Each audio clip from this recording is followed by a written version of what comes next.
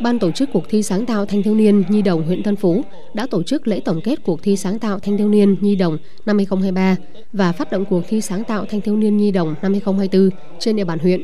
Theo đó, cuộc thi sáng tạo thanh thiếu niên Nhi đồng huyện Tân Phú năm 2023 được phát động từ tháng 1 2023 và kết thúc chấm giải vào tháng 5 2023. Từ tháng 6 2023, các sản phẩm đạt giải cao được lựa chọn tham dự cuộc thi cấp tỉnh. Tổng số sản phẩm đăng ký dự thi cấp huyện là 127 sản phẩm. Tổng số sản phẩm được chọn tham dự vòng 2 là 95 sản phẩm.